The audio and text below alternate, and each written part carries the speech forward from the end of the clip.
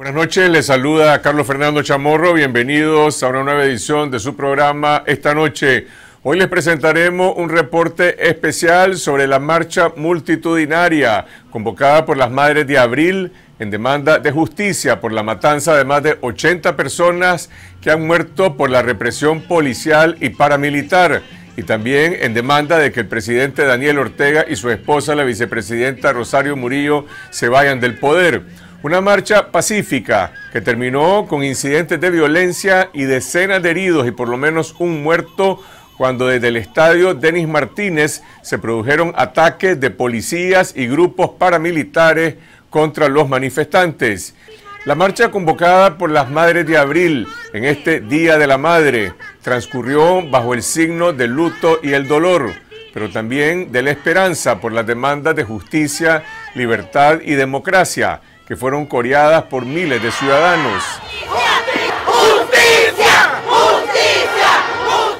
Centenares de miles de personas marcharon desde la rotonda Jean-Paul Jenny hasta la Universidad Centroamericana en un recorrido de cuatro kilómetros que se mantuvo colmado de gente en los cuatro carriles de la carretera a Masaya.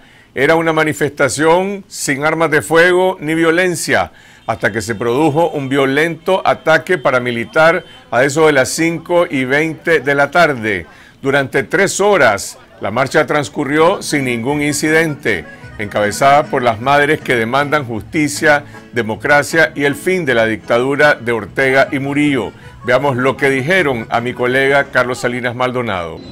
Sí, en el Upoli cayó él, entonces le llegaron a decir a uno pues que lo habían pegado pues y él lo llevaron para el hospital y llegó pues que no era un, un balazo pues que no iba a vivir. Cuando ella llegamos ahí al hospital lo tenían entubado y todo, él dio su nombre y todo y de ahí ya no supimos nada más. ¿Qué edad tenía? Él tenía 25 años. ¿Era estudiante o era trabajador solo? Es trabajador, pero como él ahí estudiaba, dos sobrinas ahí en el UPOL, entonces dijo que iba hasta el final. Y por la cotización de su papá. ¿Por qué está marchando ahora usted? Porque estoy marchando por la caída de él y, andamos peleando pues para que el gobierno se vaya. Eso es lo que nosotros queremos porque el redamiento de sangre ya no lo aguantamos para a los jóvenes. Y no es justo pues que ellos sigan y ellos anden perjudicando a la juventud pues de ellos, de, de los estudiantes. Y entonces nosotros queremos pues justicia pues nunca me imaginé pues que íbamos a estar aquí en este lugar, ¿verdad? Y, no crea que esto es fácil para nosotros, por la familia, principalmente mi mamá, porque con él más se crió él. No crea, esto nos duele a nosotros. Nos duele estar aquí en este lugar y viera a todas las madres compartiendo este dolor también que estamos pasando, porque no esperábamos que estos crímenes que se hicieron y que hizo este gobierno no es justo lo que él hizo todo esto a todos los chavalos. Principalmente a mi hijo. ¿Cómo cayó su hijo? Él fue el, por disparo por los policías hacia cuadra y media del Palí de la Fuente. Si los policías llegaron tirando balazos a todos los jóvenes que estuvieron ahí sin justificar alguna porque ellos, ellos, ellos como siempre han llegado a tirar balas al aire, no a tirarles a matar a todos los que estaban ahí. Sí. ¿Su hijo era lo que estaba protegiendo en ese momento de su Y ellos, ellos iban para allá, iban a proteger. Y no llegó hasta el punto que iba a llegar, sino que fue cuadra y media desde él iba para allá al palio. Fue el suceso de él, que los policías dispararon en el barrio. ¿Qué día fue? El 22 de abril. ¿Qué edad tenía? 16 años tenía. ¿Qué, ¿Cuál es el llamado que le hace usted al gobierno del presidente Daniel Ortega después de este caso? Bueno, después de todo esto que él hizo, lo que pedimos, y no pedimos, exigimos que se vaya de aquí de Nicaragua y que entregue el poder porque no lo queremos más aquí en Nicaragua. Sí, que se vaya porque no lo queremos más. Con todo esto que hizo, es lo que necesita. Y si aquí estuviera como en Estados Unidos, que está la pena de muerte, eso pidiéramos para él, la pena de muerte. A mi hijo me lo mataron el 22 de abril en la entrada en el palí, defendiendo la causa para que no se metieran a robar al palí. En la fuente. En la fuente. ¿Cómo se llamaba? Ismael José Pérez Vilche. ¿Cuál es el llamado que usted hace al gobierno después del asesinato de su hijo? No esperamos justicia, que esto no se quede impune. Que haya aclaraciones de, de quienes mataron a estos jóvenes. En el caso mío, yo sé que fue un policía, lo que no sabemos es el nombre, pero sí tenemos fotos, video de él. ¿Opina de que hasta ahora no ha habido una investigación? Una investigación porque la fiscalía no lo han ni, llamado para nada. Pero sí, tenemos la fe en el Ser Supremo, que es el que va a hacer la justicia. Tenemos fe en Dios que Él nos va a ayudar. ¿Y usted acompaña también el clamor de mucha gente que exige que el presidente se vaya? Yo exijo que el presidente Daniel Ortega renuncie y se vaya porque lo está destruyendo a todos los jóvenes, a los estudiantes. Está matando a la gente, pagando en los barrios para agarrar a todos los pagos para que vayan a matar a los estudiantes. La gente que andan unida con los CPC, andan, andan prestándose a ese fuego y no es justo, no es justo. Yo he recibido amenazas de, de parte de gente que me amenazan. Siento que voy con, siento que estoy como él muerta, porque me quitaron un pedazo de mi vida. Vengo a esta marcha porque vengo representándolo, porque quiero justicia, no quiero que quede impune. Usted sabe que en vez de regalo, cómo me destrozaron, siento un dolor inmenso, muy grande. ¿Qué edad tenía su hijo? 22 años. ¿Cómo, cómo, murió él? A él lo, mata, lo mataron un francotirador de dos balazos en el pecho, en la catedral. ¿Qué día fue? El propio 20 de abril, a las 3 de la tarde. ¿Él estaba apoyando a los jóvenes que Sí, él sabía medicina y estaba prestando servicio. Como le disparaban más a los médicos que a los... Entonces a él fue, él fue uno de los primeros que murió. En esta marcha participaron representantes de todos los sectores sociales del país, estudiantes universitarios y jóvenes, trabajadores y profesionales, campesinos y productores autoconvocados, jóvenes mujeres, madres y abuelas, empresarios pequeños, medianos y grandes, defensores de derechos humanos, artistas y escritores. Es un dolor de Nicaragua, es una tristeza de Nicaragua lo que estamos viviendo y por eso hemos decidido juntarnos, todos los nicaragüenses, y hemos decidido unirnos y pedirle al pueblo de Nicaragua que solo el pueblo salva al pueblo y que no debemos de dejar las calles porque es injusto lo que está haciendo Daniel Ortega y que por eso debemos de exigir que ya no siga en el poder, porque el problema de Nicaragua es Daniel Ortega. Él es el que está mandando asesinar al pueblo, él es el que está persiguiendo al pueblo, él es el que tiene encarcelado a muchos jóvenes, él es el que tiene un montón de desaparecidos, él es el quien ha asesinado más de 80 personas. Entonces sabemos que el problema de Nicaragua es Daniel y por eso tenemos que exigir en las calles todos los nicaragüenses que se tiene que ir. Ahora, las madres están pidiendo hoy justicia por sus hijos eh, asesinados, desaparecidos, heridos, pero en Nicaragua no hay una institución independiente que dé esta justicia. ¿Quién debería investigar según usted? Eh, bueno, creo que el pueblo está exigiendo justicia en las calles y no nos vamos a cansar. Sabemos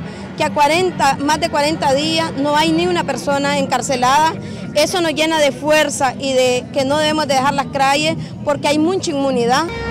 Bueno, una demostración de fe en el futuro de Nicaragua a pesar de la tragedia que hemos vivido, los crímenes masivos que se han cometido. El pueblo de Nicaragua tiene fe en que la paz vendrá y la única manera de que venga la paz es la democracia. una de las exigencias o las principales exigencias en esta marcha es que el presidente Daniel Ortega deje el poder. ¿Usted cree que después de lo que ha sucedido en Nicaragua, Ortega está en la capacidad para seguir gobernando? No, yo creo que ya esa es una oportunidad que ya pasó y él tiene que convencerse de que cualquiera que sean los mecanismos que se acuerden, esta solución tiene que darse a corto plazo, si no el conflicto va a seguir, el riesgo de enfrentamientos, de más muertes. Entonces yo creo que hay que hacer eh, un llamado a su propia conciencia de que tiene que apartarse él y su esposa para que el país pueda encontrar un cauce democrático. ¿Cuál es la opinión que tiene usted de la Mesa del Diálogo Nacional? Tiene que seguir adelante, no hay otra alternativa. A la paz no hay alternativa. La alternativa a la paz es la guerra y nadie quiere la guerra aquí. Entonces tenemos que respaldar los esfuerzos de la conferencia episcopal, eh, a la sociedad civil que está sentada en esa mesa, para que el gobierno, pues eh, aunque sea forzadamente, se abra a discutir el asunto de la democracia, que es lo que es el tema capital. ¿Se deben adelantar las elecciones? ¿Perdón? ¿Se deben adelantar las elecciones? Necesariamente, que eh, es absurdo que pensemos que vamos a llegar al final de este periodo en esta situación. Tiene que hacerse un calendario electoral rápido eh, y efectivo y transparente. Esta mañana el gobierno aceptó la creación de una Comisión Internacional de la Verdad independiente, auspiciada por la Comisión Interamericana de Derechos Humanos de la OEA, para que en un plazo de seis meses establezca las responsabilidades individuales sobre la masacre de abril y mayo de este año. Las madres ya no puede ser solo el Día de las Madres nicaragüenses, sino el Día de las Madres de abril. Esto me está reviviendo muchos recuerdos, los recuerdos de las cosas que vivimos en tiempo de los Somoza. Sin embargo, esto lo siento como con más dolor, con más eh, indignación y con más coraje. Pero siento que la gente está luchando con un gran coraje, sin armas en la mano, en luchar contra Somoza tuvimos otra opción, no queda otra opción. Pero aquí es el pueblo puro, con su corazón abierto, el que está diciendo basta ya de represión. Hoy el secretario general de la OEA, Luis Almagro, anunció de que el gobierno del presidente Ortega había aceptado eh, uno de los requerimientos de la CIDH, que es el mecanismo internacional para esclarecer lo que ocurrió en Nicaragua a partir del 18 de abril. ¿Cuál es su reacción ante este anuncio? Yo lo supe desde anoche. Eh, la Comisión Interamericana de Derechos Humanos nos lo comunicó oficialmente. Tuvimos un intercambio de opiniones, los riesgos que corren, la oportunidad que esto representa. Pero para mí, una de las preocupaciones de esta iniciativa es que esté Almagro porque definitivamente si se une el órgano jurídico en el cual creemos y, en el, y la cual ha demostrado que tenemos razón de creer en ella, este, está jugando o está luchando por los derechos humanos. En cambio, no sé cuáles son los intereses que Almagro está defendiendo. Eh, su discurso nos confunde. Pero desde ahora le decimos que no intente meter a otro penco en esa comisión de expertos que por responsabilidad de la Comisión Interamericana de Derechos Humanos y la demanda de este pueblo que viene aquí van a venir. Mientras la multitud marchaba en Managua demandando el fin de la dictadura, el pueblo también marchaba en otros departamentos del país, en Estelí, Ocotal, Bluefields, León, Chinandega, Rivas, Matagalpa y en otras ciudades miles de personas salieron a las calles a demandar justicia. En el municipio de La Trinidad, en Estelí, se registró un incidente entre ciudadanos autoconvocados, antimotines y fuerzas de choque del Frente Sandinista. Según medios oficiales, falleció un simpatizante del FCLN y 10 personas resultaron heridas. El fallecido fue identificado como Jairo Osorio, poblador de Jalapa.